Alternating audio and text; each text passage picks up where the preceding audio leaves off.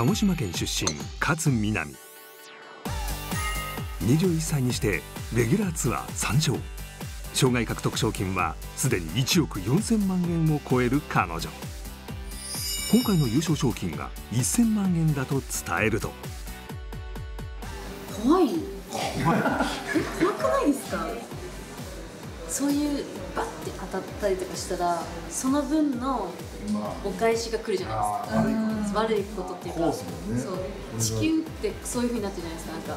なんすかいきなり。いや宇宙大好きなんですよ。宇宙の話しだしたらすごい止まんない。今地球って結構なんかこうこう言ってるじゃないですか。だから多分ゼロに戻るんじゃないかなと思うんですよ。今だ今地球って。いやだから我々地球の寿命みたいなで終わる一回リセットされる。そういうふうになってるかもしれない。ですすごい面白くないですか？賞金の話はすっかり宇宙の彼方に消えてしまったが今回の勝負果たして大丈夫か？